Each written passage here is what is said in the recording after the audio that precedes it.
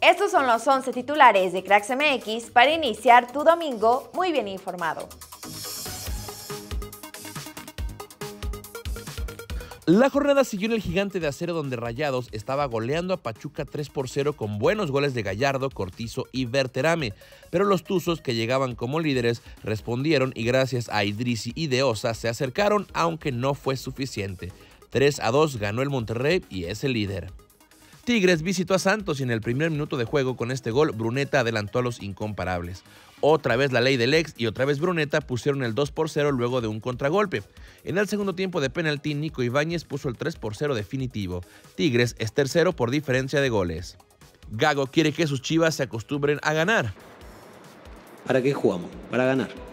Es normal, necesito que siempre estén acostumbrados a ganar y eso es lo que necesito. No, no, a ver, la ilusión, sí, la ilusión es de la gente, la ilusión es nuestra, pero no hay que confundirse, hay que seguir trabajando de la misma manera.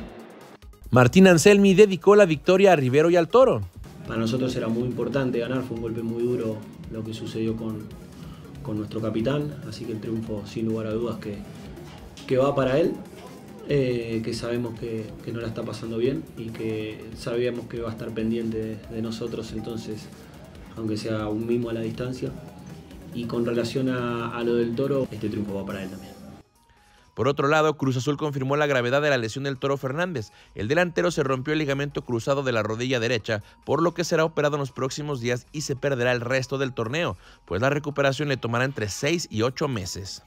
Steven Barreiro aseguró que no tocó el balón con la mano en el penalti que le dio el triunfo al América. Pero eh, en mi sentir creo que nunca, nunca la tocó con la mano, pero el profe dijo que sí, que hubo un rozón, pero eh, bueno, ya la decisión está y nada, seguir adelante.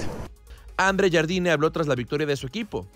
Y para mí jugamos un partido correcto, peleando, compitiendo mucho, imponiéndose en la mayor parte del tiempo y en algunos momentos sabiendo, sabiendo defenderse, cerrarse ante un rival que tiene muy buenos argumentos ofensivos también, delanteros importantes.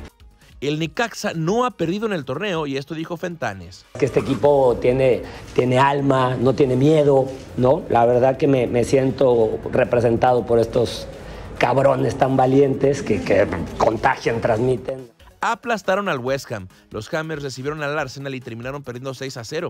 Edson Álvarez dio su peor partido desde su llegada a Inglaterra. Fue amonestado apenas al minuto 9 y se vio superado en el medio campo, además de que salió de la cancha al medio tiempo con el marcador 4 por 0 en contra. Los Hammers cayeron al octavo lugar de la Premier. En España, el Mallorca de Javier Aguirre le ganó 2 por 1 al Rayo Vallecano con gol al minuto 91. Triunfo valiosísimo para los del Vasco, pues con esos tres puntos llegaron a 23 y se alejaron a 6 de la zona de descenso y se ponen a uno del Rayo, que es rival en esta lucha por salir de la parte de abajo.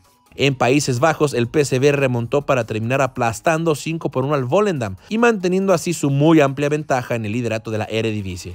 Chucky Lozano jugó todo el partido y tuvo un partido discreto, ni anotó ni asistió, aunque estuvo cerca de marcar este buen gol. Es todo en titulares, no olvides que más adelante hay un segundo video con más noticias de Cracks MX. No olvides suscribirte, yo soy Leslie y nos vemos en el próximo video.